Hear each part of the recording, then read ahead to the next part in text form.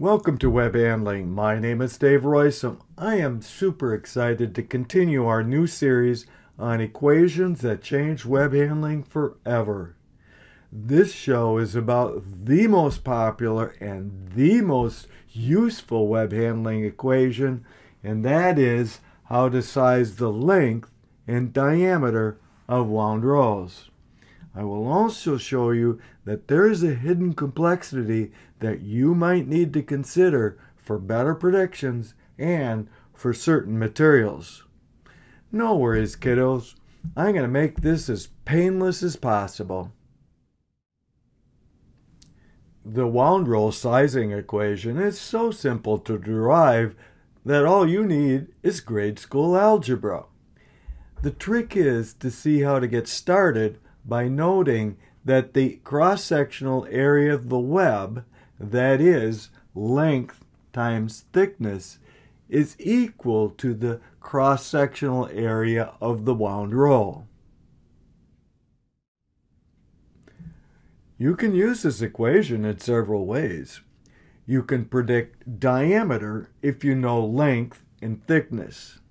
Or you can predict length if you know diameter and thickness. Alternatively, if you knew the wound roll's diameter and length, you could calculate a special type of thickness that we will use later. So, what could be simpler? Because we know how to measure diameter. In order of increasing accuracy, you could put a tape measure across the face of the wound roll. Better yet, you could use a pi tape around the circumference of the roll, though setting up for that measurement could take more time. Even better yet, you can use any winder that is equipped with a lay-on roller and a lay-on roller position sensor. We also know how to measure length in order of increasing accuracy, you could measure length on the floor, provided that the length was not impractically long. Faster, but maybe no more accurate, is to use a footage wheel riding on the web. This is so super crude, I don't recommend it for almost any application. Finally, you could use the dual tachometer method that most modern winders employ. But of course, life is not always so simple. An essential concept here is that there is no such thing as thickness that is independent of a specific measurement method and instrument. This is quite unlike, say, measuring the speed of light, or anyone anywhere in the universe using any legitimate method will get the same answer within the resolution of the method. Thickness is not like that. Uh, yes, there are many variabilities in sensor resolution and sampling, but that's not what my big concern is. Rather, different instruments use different probe loads and have different probe areas. And the size of the probe may be bigger or smaller than the sample. Worse yet, a stack thickness will measure different than a single ply thickness, and a wound roll effective thickness will be different still. The wound roll is even more complicated than web thickness as measured by a scanner or a test lab. Just as thickness varies with probe load, effective thickness in a wound roll varies with the tightness of the wind, already a complicated set of physics. Also, pressure is different at the core versus the middle versus the top of the roll, thus the effective thickness will vary at those locations.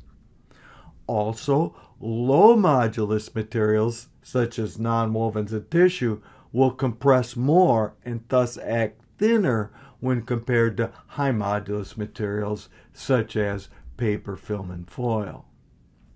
Even the stack has complications, both as a test lab or a wound roll. If you compare stack thickness with single ply thickness, you will find that the stack has greater thickness with smooth materials due to the inevitable sandwiching of air between the layers.